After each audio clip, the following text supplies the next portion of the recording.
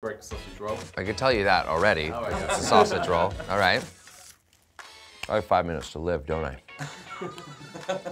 My favorite, I'm sorry to say, is the Greggs. The sausage roll. Pretty good. Oh!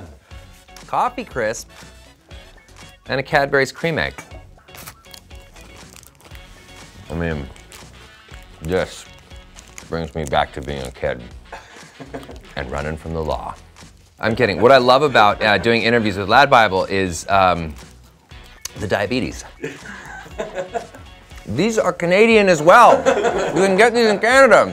When I was 10 years old, I snorted these, but the coffee crisp is better. So Canada wins this round.